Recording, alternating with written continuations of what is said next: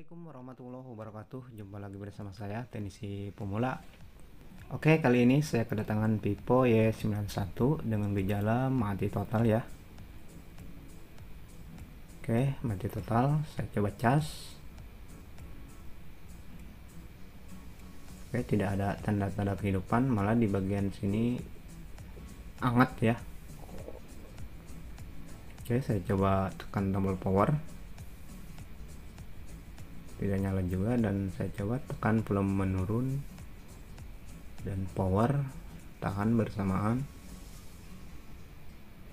Kalau sistemnya crash biasanya bisa nyala ya. Tapi ini sepertinya e, kerusakan di hardware atau di mesin.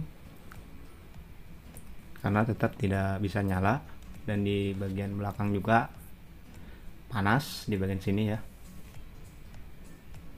ini nggak tahu kronologinya. Karena pas saya ini HP sudah ada di rumah ya yang terima istri saya. Oke saya langsung keluarkan SIM tray-nya. Dan congkel di bagian sini dulu Pak Goku untuk membongkarnya. Oke memutar. Oke ini bagian sini gompal ya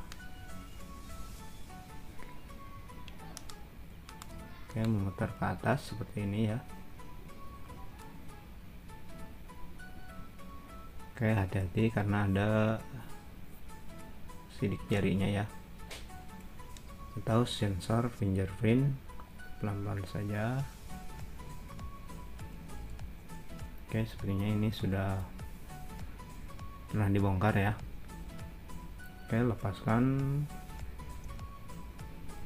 fleksibel fingerprintnya.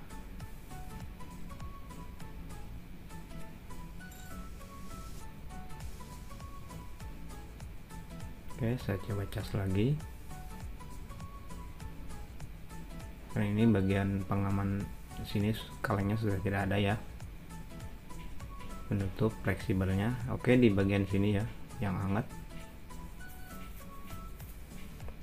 Oke, saya langsung bongkar saja bautnya satu persatu. Oke, lepaskan semua fleksibel yang menempel ke mesin ya. Dan lepaskan kameranya juga dan saya coba akan bongkar kaleng ini ya. Yang panas tadi di bagian sini. Oke, saya pakai quick 858. Panasnya sekitar 225 ya anginnya sekitar 2 Oke saya langsung eksekusi langsung bongkar kalengnya. Oke sebentar saya congkel dulu pakai pinset di bagian kiri dulu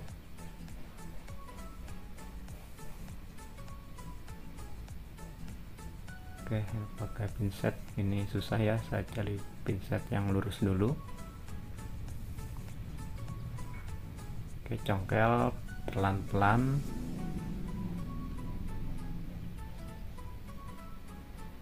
Kemudian angkat ya pelan-pelan. Kemudian panaskan sekeliling kalengnya. Oke sudah terlepas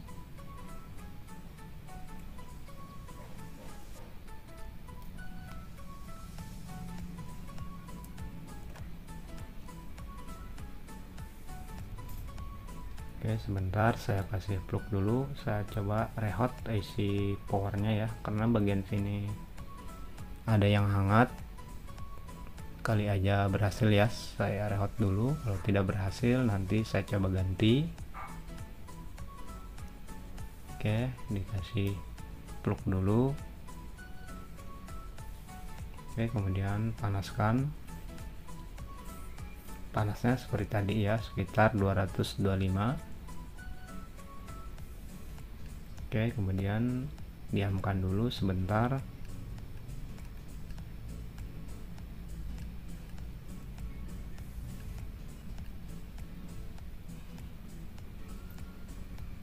Oke, kemudian saya tembak kembali ya.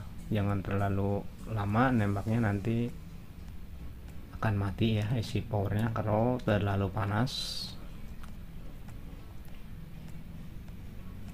Oke, saya biarkan dulu sesaat ya agar dingin dulu.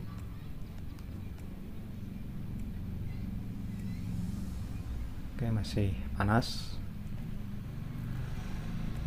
Oke sekiranya sudah dingin baru dibersihkan ya sisa-sisa plugnya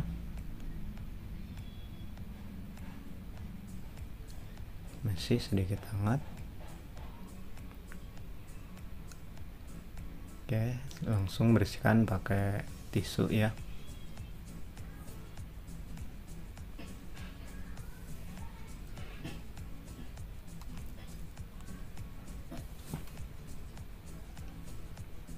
Oke, saya cek di semua kapasitornya.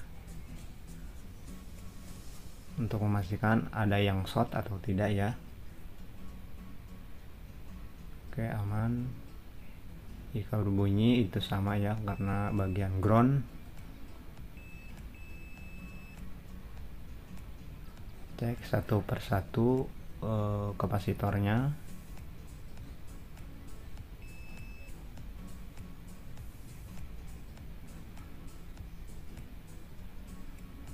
Oke saya cek dekat IC power ya.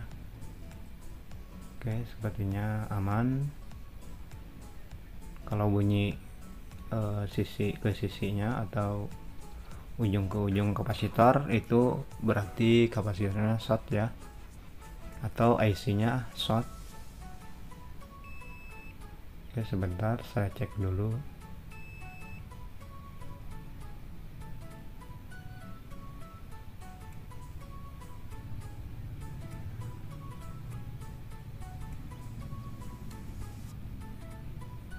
Oke, sepertinya tidak ada yang short ya.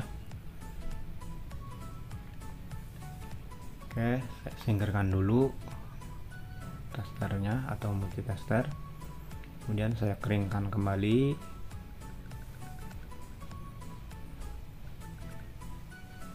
Saya bersihkan sisa plugnya. Oke, pakai thinner ya karena saya nggak ada thinner jadi saya pakai pertalit.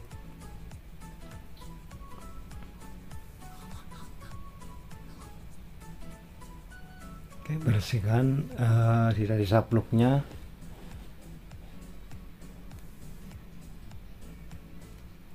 oke kemudian keringkan uh, ya diamkan sebentar agar kering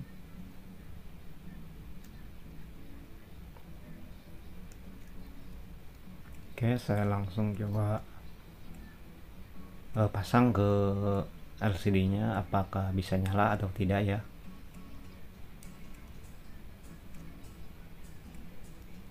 Oke, pasang uh, fleksibel LCD dan fleksibel pengisian baterai dan pasang juga fleksibel baterainya.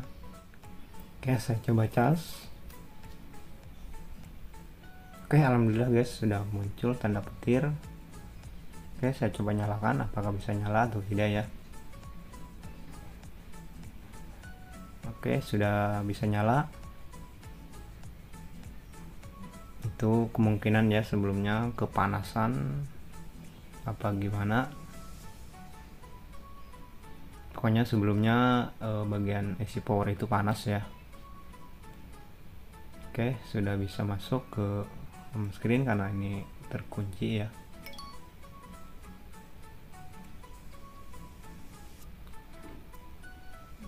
Mungkin sebelumnya kepanasan jadi ada sebagian timahnya meleleh kemungkinan saja ya. Karena setelah saya rehot ini sudah bisa nyala. Oke saya akan pasangkan kembali kalengnya ya agar tidak kotor nanti IC nya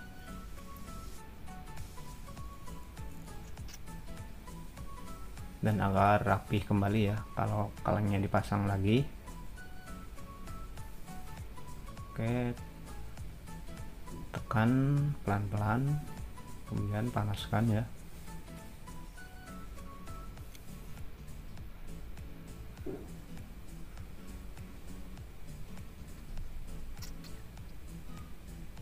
Oke seperti itu.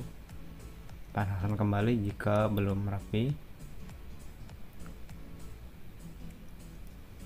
Oke sepertinya sudah rapi ya sudah menempel kalengnya dan saya coba diamkan dulu. Nunggu dingin. Kemudian saya pasangkan kembali ya apakah apakah tetap bisa nyala? Oke masih tetap bisa nyala ya berarti penyakitnya sudah bisa disembuhkan.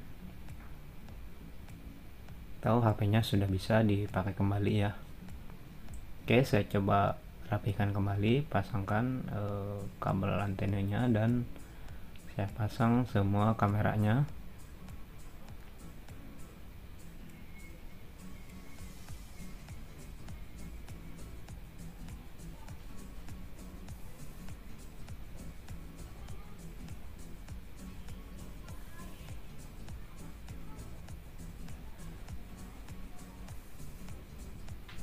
Oke, saya pasang kembali uh, penutupnya ya, penutup mesinnya.